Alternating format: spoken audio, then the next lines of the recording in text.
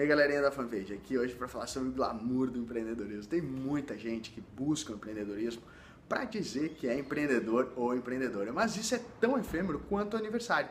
Quando está rolando o seu aniversário, logo no dia seguinte, pô, acabou a festança, agora volta a vida normal. O empreendedorismo é muito disso, as pessoas é, têm aquela busca, ah, vou ser empreendedor, vou ser empreendedor, para contar para todo mundo, mas logo depois que você contou, cara, vem a realidade, aí é trabalhar duro, é você tá fazendo que a sua ideia encontre o mercado, é você estar combinando aquilo que você oferece com o mercado. Isso é trabalho extremamente pesado.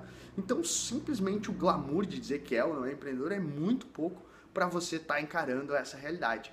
Você tem que ter motivos muito mais consistentes para isso. Mas infelizmente tem muita gente atrás desse glamour de empreendedor e empreendedora, o que não é a melhor chance, a melhor alternativa aí para você estar tá encarando essa jornada. Então fica aqui um toquezinho para você compartilhe aquilo que você acredita. Espero que você entre no empreendedorismo pelos motivos certos. Um grande abraço, tchau, tchau.